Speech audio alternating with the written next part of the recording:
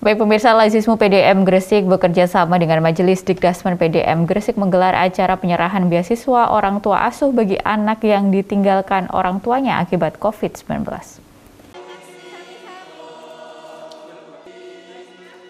Acara penyerahan beasiswa yang dihadiri oleh seluruh kepala sekolah dari tingkat MI, SMP, dan SMA Muhammadiyah se-Kabupaten Gresik ini bertujuan untuk mendengarkan pemaparan terkait program filantropi cilik dan beasiswa orang tua asuh yang digagas oleh Lajismu PDM Gresik. Turut hadir pula pengurus PDM Gresik beserta jajarannya, pengurus Majelis Dikdasmen PCM se-Kabupaten Gresik, dan pengurus Aisyah Gresik dengan tetap mematuhi protokol kesehatan.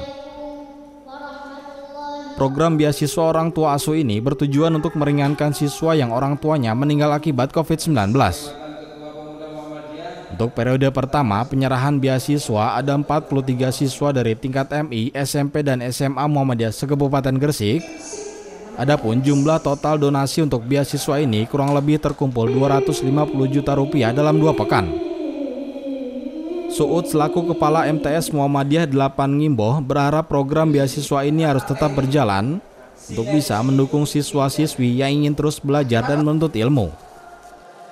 Uh, saya berterima kasih kepada Layismu yang telah memberikan uh, orang tua asuh atau beasiswa kepada murid kami yang pada saat ini memang ada yang kena uh, COVID sehingga uh, orang tuanya meninggal dan ini sangat membantu bagi anak-anak uh, kami yang meneruskan pendidikannya di MTS Muhammadiyah uh, 8 Ngembo harapan saya ke depannya Lajismu tetap jaya untuk membantu eh, murid-murid uh, yang memang sangat dibutuhkan dalam arti sangat ingin meneruskan pendidikan yang lebih maju.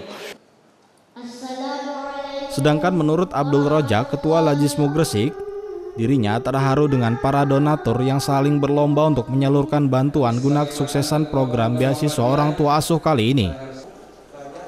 Dirinya juga menyampaikan program ini benar-benar bertujuan untuk bisa meringankan beban siswa supaya bisa terus belajar di sekolah. Assalamualaikum warahmatullahi wabarakatuh.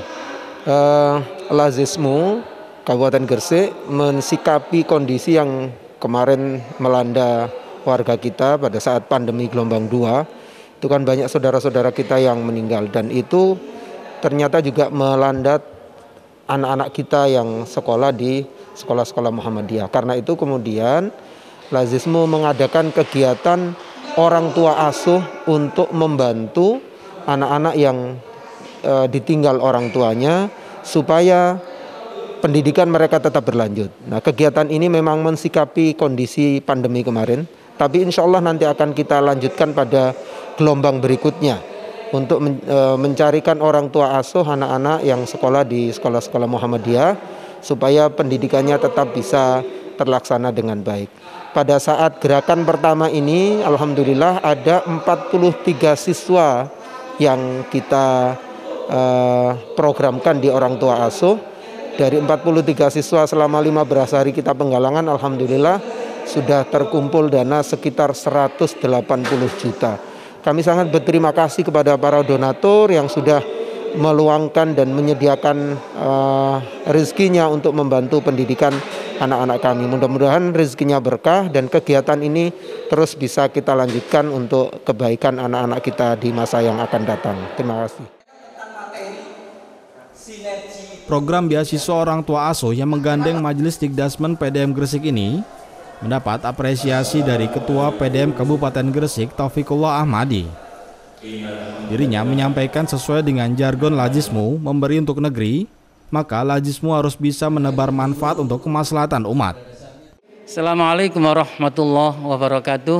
Waalaikumsalam warahmatullahi wabarakatuh. Saya atas nama pimpinan daerah Muhammadiyah Gresik menyampaikan yang pertama selamat milad yang ke-109 untuk semua warga Muhammadiyah.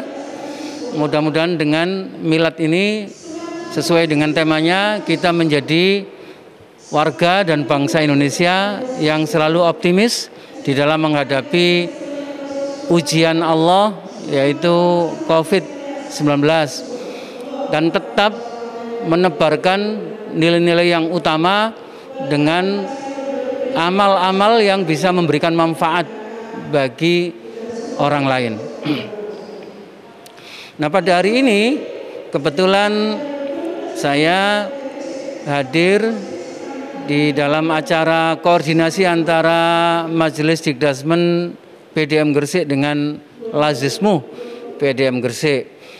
Kedua majelis ini uh, telah sepakat untuk melakukan gerakan bersama secara masif yaitu gerakan filantropi cilik mudah-mudahan eh, koordinasi yang baik antara Majelis Dikdasmen dengan Lazismu daerah bisa optimal di dalam mengumpulkan dana-dana infak dan bisa ditasarufkan untuk masyarakat terutama untuk kepentingan pendidikan. Demikian, Assalamualaikum warahmatullahi wabarakatuh.